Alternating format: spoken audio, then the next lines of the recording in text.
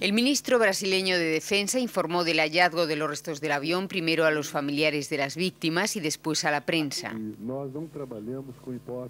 Nosotros no trabajamos con hipótesis ni con esperanzas, trabajamos con hechos y lo que vamos a hacer es proseguir las búsquedas, dijo el ministro Jobim.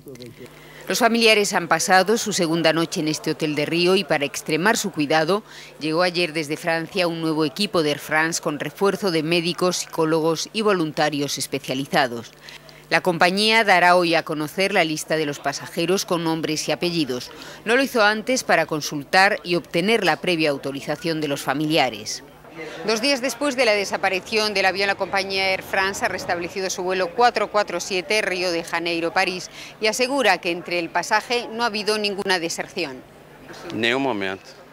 Un hombre con fe no tiene miedo. Más de dos días después, las causas del siniestro del avión Airbus todavía no han podido establecerse.